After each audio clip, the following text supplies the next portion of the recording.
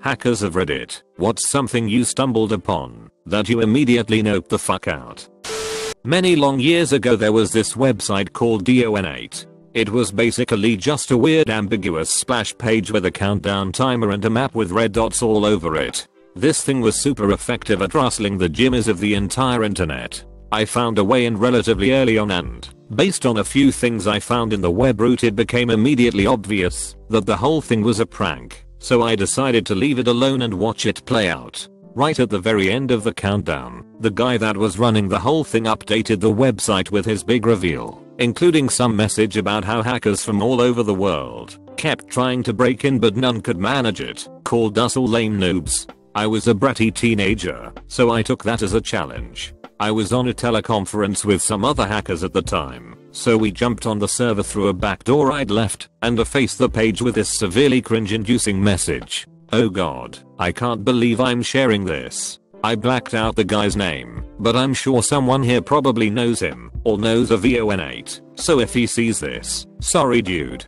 GD kids, right? Anyway, right around this time, as the countdown ended, and for a while after, the server was getting swamped to the point of an essential DOS. This was happening while I was logged into SSH on the server. I was in the process of doing some cleanup, deleting some utility scripts I'd put on the server, but I was impatient. The lag was growing, and I was working faster than the server was sending me responses. I changed directories at one point and tried to delete everything in it before seeing a response from the server and didn't realize I'd fat fingered the cd command. I ended up deleting a bunch of his stuff that I didn't mean to. The second I realized what I'd done I instantly felt horrible and noped the fuck out of there. We had planned on razzing the guy for a while, but I was just totally done was asked to steal a couple bitcoin from a customer's associate back when BTC and altcoins were booming. Got access to his wallet fairly easily, being curious as I am, checked how he got so much coin.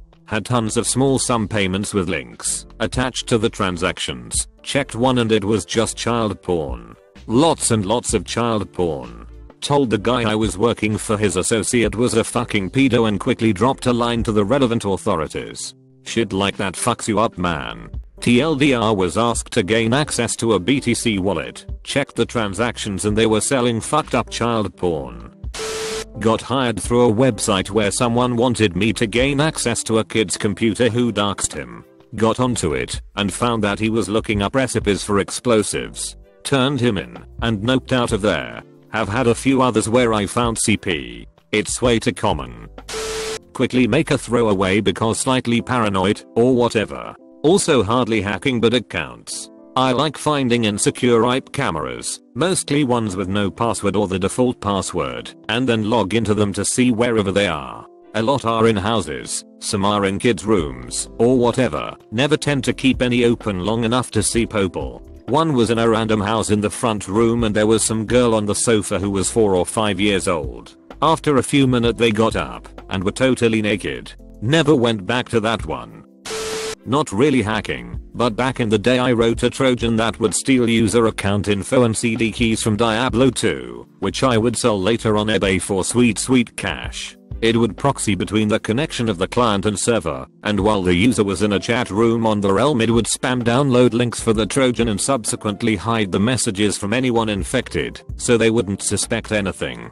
This made it self-spreading, and it was actually so effective that eventually Blizzard put up a warning about it on their website. I took down the sites hosting it at that point, since I was scared and didn't want it getting traced back to me. I was at a CS LAN party ages ago. I ran a bunch of nets and scripts on the network causing prompts to pop up in front of the game saying dumb shit good luck. Right behind you. Your mother gives great head. Eventually the party organizer paused the games to walk everyone through how to disable messaging services. The funny thing was that about 15% of the people already had that off, including my group, and it caused a few unfair wins. I noped out when people starting looking at me, since I wasn't exactly quiet about the whole thing, was fucking amazing, and the start of a long long road of engineering and infosec work. I worked for a company that was selling people's data. They had about 6 million leads, I dropped the DB before I left. I hope that company collapsed the next morning. Couple of years back, I was real begin to reactivating old Hotmail accounts and using them to log in into Facebook. Since this was in the heyday of chain mails with a hundred or so accounts there, I had a huge backlog. Don't know why I did it, a combination of boredom and verism, I think, and lots of free time. I felt like a sort of hacker, at least. Occasionally, you stumble upon things you wish you weren't supposed to. I mean, yeah, I know how that sounds. Once, I came upon a guy's Facebook, and after a while you instantly realize it hasn't been used in years. A bit like coming across an abandoned house. Tons of notifications and unopened PMS. On the top of the list of those messages, it was a woman that kept trying to contact him. My first impression was that it was a stalker, maybe an ex that wasn't able to move on. I really don't want to get into details, because even for me, it feels like I walked into an absolutely private matter, but it was mostly her talking about her day to day stuff, and occasionally begging him to come back. Sometimes it got real weird, with her telling him how she felt him in the wind. Turns out the guy was dead, and people have strange ways of coping. I left that habit behind. After that, Script Kiddie College Me decided to play with a pen testing program against a govt website from the school network. The amount of network info and other metadata as well as actual documents it was pulling was scary, plus it was overheating my rig because of the processing power involved, and just overall I realized it was a shitty idea, so I killed it. I was hired to develop a payment processor for a unnamed large fast food brand. At this point, I had the ability to take out 100k a day into an offshore account. I would have done this by pulling a movie plot, like Heist. I was going to take 2% of all tax payments. I was thinking about it for a while, then the next day, someone I knew was busted for doing the same thing on a much smaller brand. At this point, I dipped out. I ended up working for the brand for a few more years without committing fraud. This was back in the day of AIM chat rooms. Had a guy who I was watching in a chat room. I had sent him a message acting as a 14 year old. Told him to download my naughty picture. He didn't it was just a quick download that gave me access to the entire system. The tool I used displayed the entire system and all functions in a hierarchy of importance with the Windows kernel at the tippy top. As soon as I was all set I deleted his kernel. I lost all my tools from back then, but that was a sweet time to be around. Seek and destroy internet pedis. Crashed a print daemon on a SprintNet X. 25 connected system thereby freezing slash crashing the whole mainframe. Never reconnected again because I was afraid TB monitoring. This was like in 1991 you whippersnappers. Old boss asked me to find the personal data of somebody he had met at a hotel for reasons.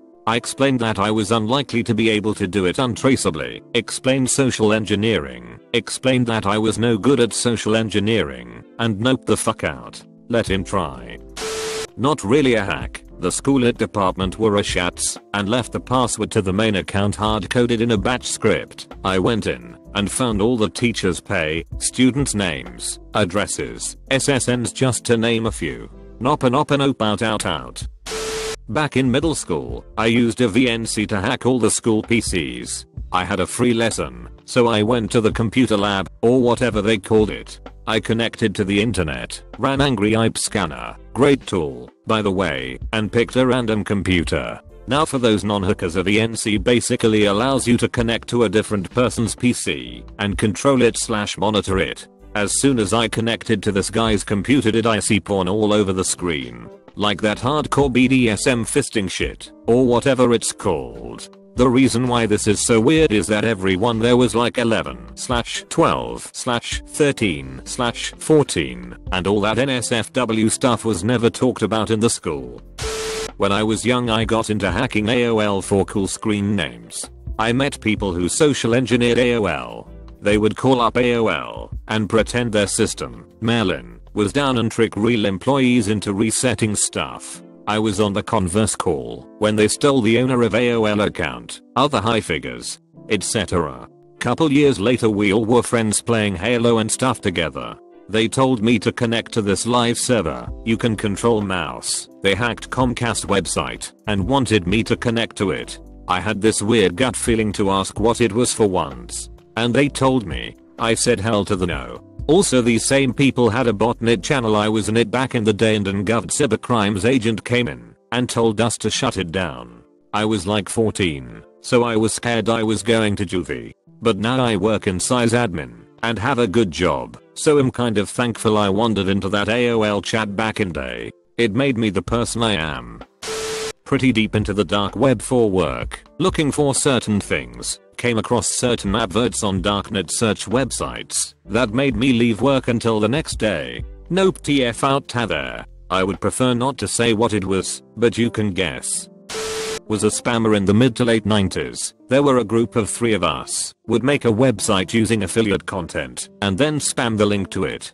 Started off by scanning AOL chat rooms, and we made a decent living from it. 2, 3k for each of us per week. Then we got bigger into it and left the confines of AOL which led to bigger paydays of 20, 30k per month until the authorities knocked on one of my partner's doors. They never did come to me and I was 17 at the time. Stopped once that happened.